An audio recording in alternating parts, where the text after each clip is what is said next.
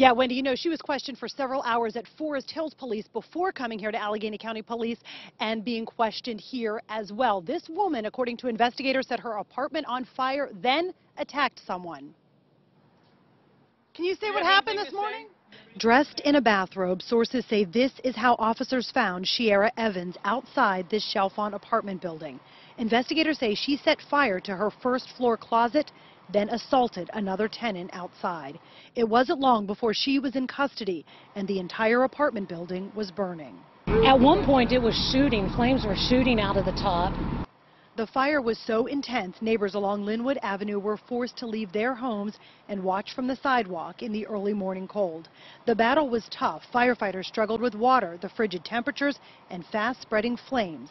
Then the roof collapsed. I have my grandbaby and my daughter with me, and it's like, and I got a little bit concerned. And Robin Faulkner's home is just two doors down.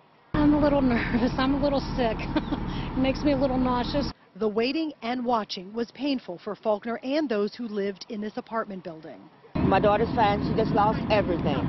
When the fire was finally under control, the building officials say was destroyed. One firefighter was taken to the hospital to be evaluated, and Shiera Evans was taken to jail.